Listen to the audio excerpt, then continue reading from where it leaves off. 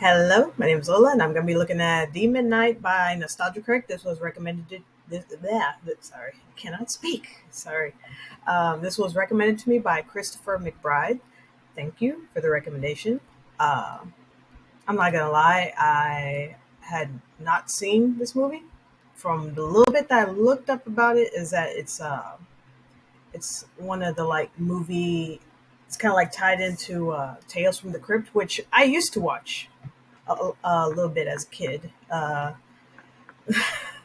and uh, I would actually get like scared every time the Crypt Keeper came out because oh my god, it just so terrifying, it, and his laugh and all that.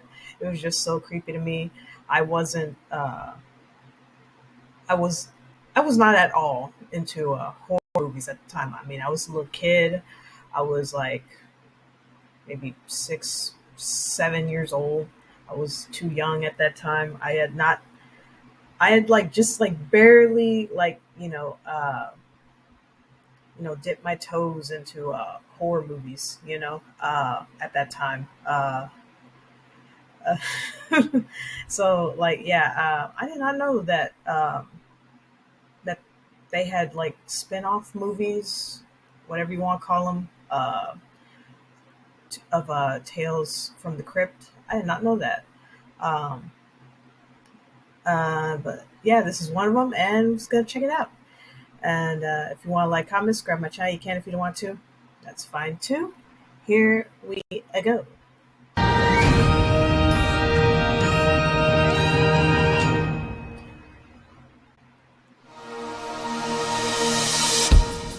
Nineteen eighty nine. HBO releases a new television series from Robert Zemeckis called Tales from the Crypt. A send up to horror pulp comics, it was seen as an excessive, smutty, over the top gore fest of bad taste, obnoxious jokes, and trashy writing.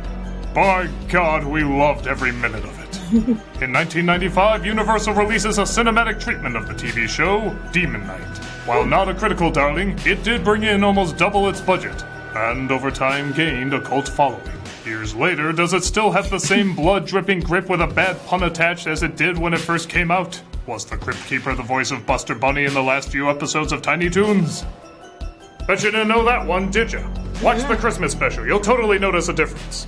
I'm Nostalgia Stack, and welcome to Nostalgia Ween.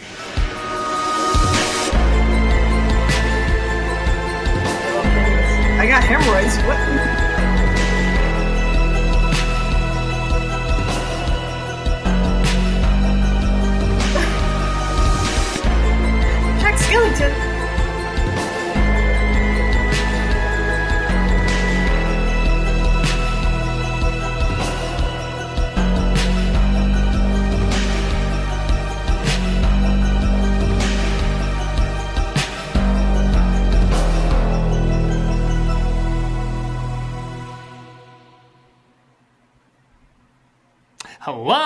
Nostalgia Critic guy. Remember it so you don't have to. Sometimes you just need a dead guy to crack Happy Meal jokes in order to feel good.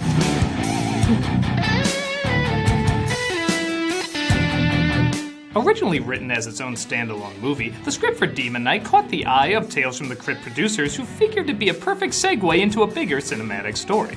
Where most Tales from the Crypt episodes are what the makers often called comeuppance stories, Demon Knight was more of a traditional survival story What? told in Thomas arguably an untraditional way. It delighted the hell out of me as a kid, just as much as it does now, and we're gonna see what made it stand out. Let's see if this film still matches the gory trashiness of the show. Boy, do I need to fire my editor. The hell am I supposed to do with that? Uh, that's This you. is Tales from the Crypt presents Demon Knight. Know how some kids had Sesame Street as their childhood TV song? We truly disturbed kids had this. You know who you are, and I love you all. Aw. Seriously, the price of admission was more than worth it just to see this opening on the big screen. It was just amazing to see it that large and with such incredible sound. Seriously, you can end this intro with. Tales from the Crypt. All right. That's it for me. Be good, everybody. So remember mm-hmm. that one time you called a sex hotline? That woman you talked to is an actress now. You should have seen the look on Carl's face when I buried that axe in his chest. It makes me realize the empty connection I have with my father. I mean, how hot I am. Death is but a tiny oh. hurdle in horror films, though, as the man she murdered comes back for revenge, but it looks like this is all a film set directed by the Crypt Keeper, voiced again by John Kassir. I kind of love how even though the actress is clearly acting hokey, he chooses to pick on the guy playing the monster. It makes sense. That would be the most important to him. You call that acting? Yes, as a matter of fact, I do call it acting. You're no Gory Cooper. You ain't even a Robert Redford. I don't need this. I'm John Larroquette. I was a Klingon in Star Trek 3!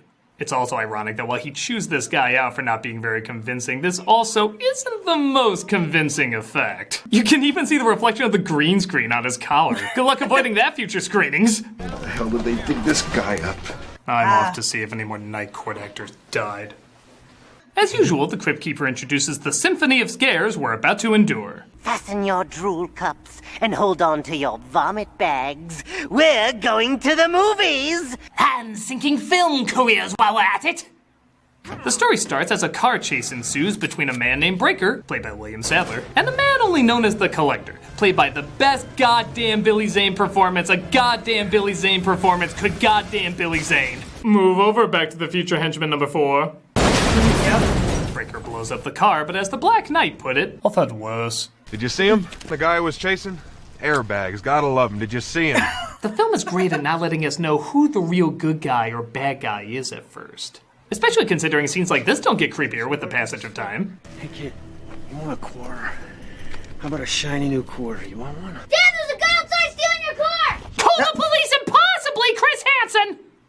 Breaker befriends every 80s and 90s cult film mascot, Dick Miller, who takes him to a hotel. That even from Dust Till Dawn cast members would be like, fuck that shit. The stars literally align on Breaker's hand, as again, a decent mystery is set up here as to what's going on. The hotel owner asks her daughter Geraldine, played by Jada Pinkett Smith, to show Breaker his room while a fired mailman, played by Charles Fleischer, looks on as a prostitute he's in love with sleeps with a sleazy guy named Roach, played by Thomas Haden Church. Yeah, the cast list for this movie is short but simple. Cast The writing everyone. in the first third of this movie is very, well, Tales from the Cryptish. Hey, maybe I should give him a freebie. Hmm, just what he needs. Someone else screwing him. Are my sheets done yet? I couldn't get all those stains out. Damn guacamole. Get that pussy off the table. I meant the cat. But the actors are so much fun to watch, they hold your attention until the plot gets rolling. And it certainly does that when the collector enters the hotel. Drop the guns or I'll kill her. I said drop your goddamn gun! We both know she has a prosperous career of marrying Will Smith. He does drop the knife as the cops try to find an artifact that the collector says is his. What's he got to do with this? I'm I work for a, a collection agency. Remember the end of Hereditary? That's us. They tried to see if he hid it in the hotel when they come across. Oh, uh, Oh, well, they did say this movie jumpstarted his career. Oh, play it. They finally find the Nice. artifact, but the collector notices liquid inside and asks someone to pour it out. He's not what he says he is, Willie. Willie! just just pop that lid. So, yeah, while this is pretty silly, it does still keep your interest as to what's going on. And part of the comedy comes from you don't know who to trust in this scenario. Look what he's done. He's gone and put something awful inside there. W- would you mind dumping that out before you place it inside? I don't think Ben Affleck as the Cheshire Cat could have a more smug smile than that. I'll take that, Willie. Just quoting what was said to Haden Church a moment ago. Ah. the cops find out the collector's come car was stolen and they arrest him as well. Leading to. Nope, you can't show that on YouTube unless you want to be demonetized. God damn it! Alright, um.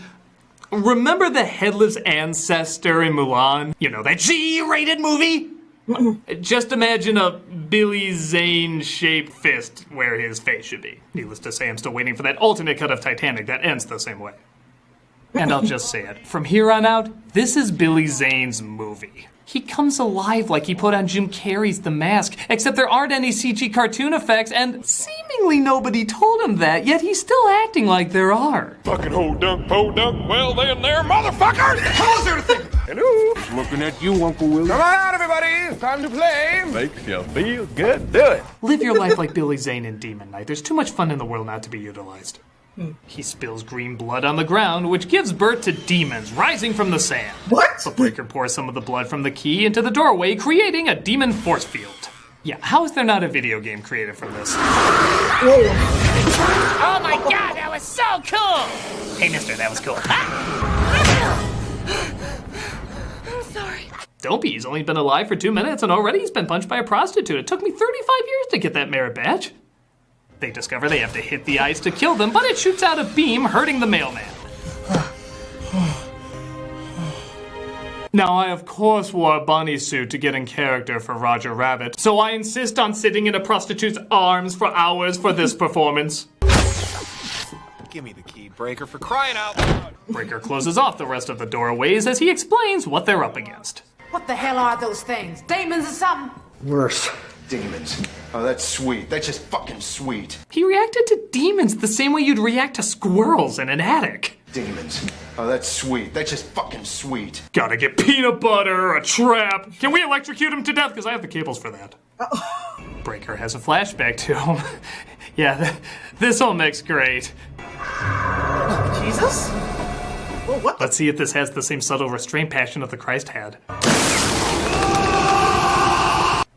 Somehow this is more subtle. He gets snapped back to reality as the prostitute is tempted by the collector, who uses illusions and mind games to trick her into letting him turn her into a demon. All you have to do is let me in. Now, this is a great effect when you realize there was no CG used for it. It was done on set. Hmm, but when you realize the only way that can be done is through an air blowing device, it does kind of mess with the soothing mood a bit. All you have to do is let me in. I was already getting a Treehouse of Horror vibe. Why stop now? The mailman enters the room unaware that the collector has possessed her and she rips him apart, as well as Oh, the God. hotel owners are. Breaker kills her though as they find a secret passage underground that everyone wants to use except Breaker. I say we give those goddamn demons what they want. I'm not gonna give you the key. You're gonna have to take it. And then I'm gonna have to kill you, right? Joke's on you. Spider Man 3 will do that for me. They decide to give it a shot as they come across the boy from earlier and his demon parents. Oh, God. Wait, his parents weren't demons. Jesus Christ. Even though they fight the demons off, things get complicated because now there's seven people. Yeah, like I said, it gets complicated. I mean, there are only five of you. They need seven. It's like tumblers in a lock. Everything has to line up. Seven stars, seven people. It has to be the seventh hotel to have seven doors while seven brides for seven brothers plays on seven TVs. It's in the scripture! He reveals that the demons are the darkness before God said, Let there be light, and only a key passed down to a select chosen few carrying the blood of Christ can stop them. The blood ins- inside. Is that? Some of it. Yeah. The rest is wild turkey. What that with the blood of Christ mixes surprisingly well.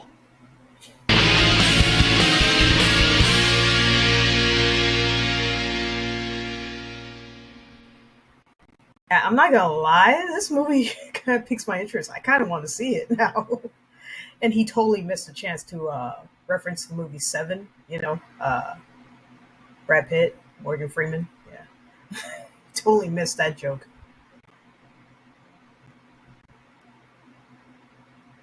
Hey folks, we're going to be at Grand Rapids Comic Con in Grand Rapids, Michigan, November 8th to the 10th. We were there last year, we had a fantastic time, and we can't wait to return. We'll see you guys there.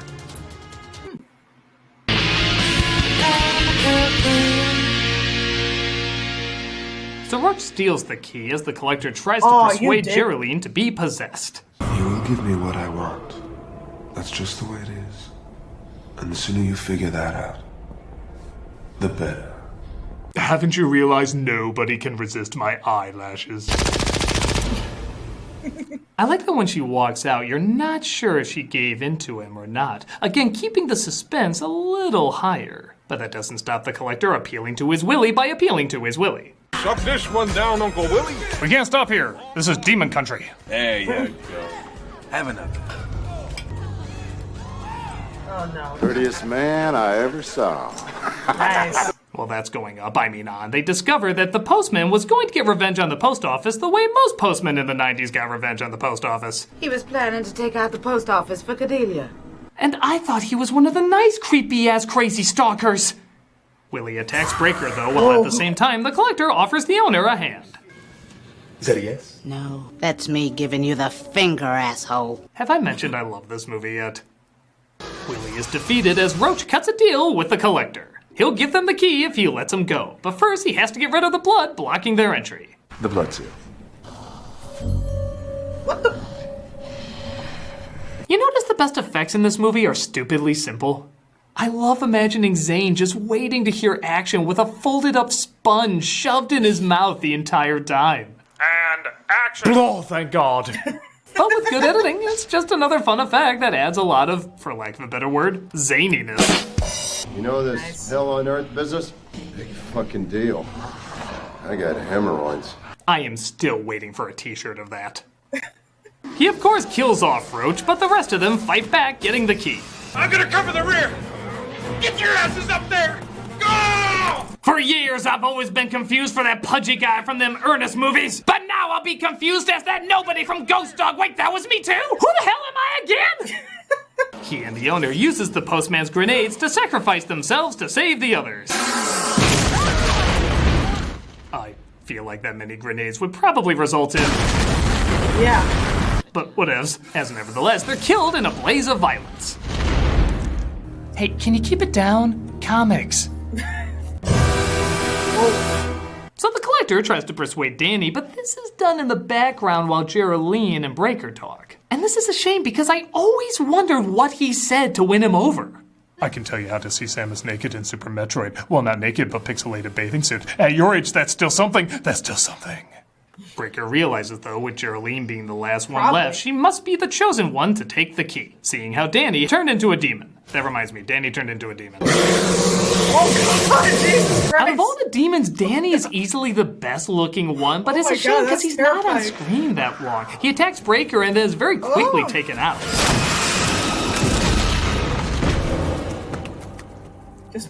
As Breaker dies, he passes on all the power and information of all the people who have been the protector of the key in the past.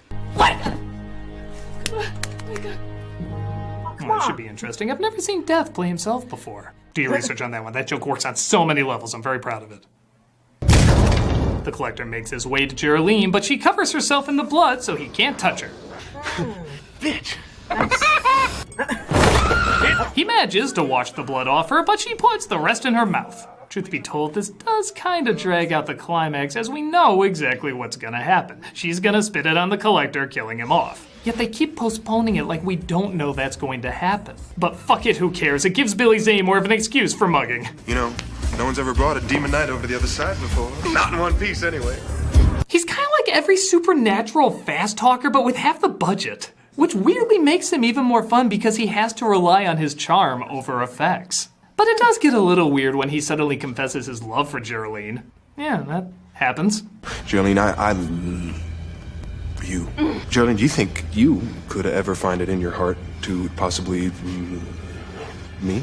Hmm, let me check Google Maps. No. No. No, I have no idea where that came from. So, yeah, that is random and odd, but that's Yeah. also kind of why I like watching him, because he is so random and odd. So, yeah, if he wants to open his fly to reveal he has Human Torch's splooge, I am really weirded out, yeah, but in this movie I'm okay with it. I'm gonna take your heart. Like I said, she does spit in his face, revealing his true form and blowing him to smithereens. Geraldine is left to find the next protector of the key as she blocks every entryway she goes through. No, it's okay. I'll wait for the next. I know Bordello of Blood is next. The film ends with the Crypt Keeper going to the premiere of his own movie. But his producers saw it and weren't happy.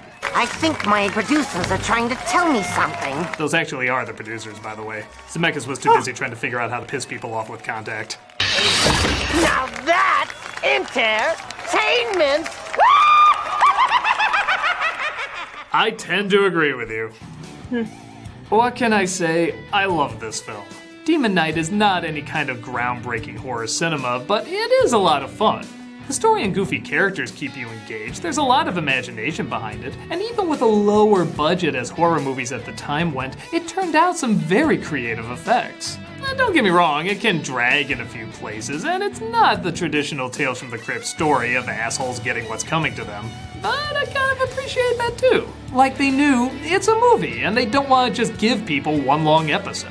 They want to step up the game a bit. Over the years, its fans have grown, and you can definitely count me in the. It's over the top and ridiculous, but surprisingly hooks you in enough waiting for what's gonna happen next. Take a look if you haven't already. I'm a nostalgia critic guy, remember? So you don't have to. You fucking ho dunk, po dunk, well then there, motherfucker! Oh my god. Yeah, the movie does pique my interest. Like, man, I'm gonna watch it later. and uh yeah, Danny's transfer transformation, like, dude looked like the thing from the thing. Like that was creepy. Oh my god, his his his uh his demon design looks the most like the scariest to me. Like Jesus Christ. Wow. Uh, yeah, like I said, I didn't know that Tales from the Crypt had movies. Like, I thought it was just a TV show. And I think I heard, I think it was a while back that they tried to like bring it back with some new episodes or remake or something like that. Uh, I I have not seen a single episode of that. I don't know if it's good or not. Uh, anyway, but this movie does look really good. Like it's it's it's it's kind of like it's kind of like like you know like oh it's not meant for kids. But you just know kids are gonna you know be interested curious about it and watch it uh, and it's like it's like something that like of course adults are gonna enjoy. And of course older kids. That's actually how uh how i uh, started watching tales from the crypt a little bit uh from my older siblings who would who would watch it. And uh like there were times when I would get so so scared and freaked out that I run out the room. Like like hell no, I ain't dealing with this. I ain't watching this. I was so scared. I was so little. uh, anyway, uh, yeah, that's my reaction to Demon Knight by Nostalgia Critic. Everyone, take care of yourselves each other, and I'll see you in the next one. Bye.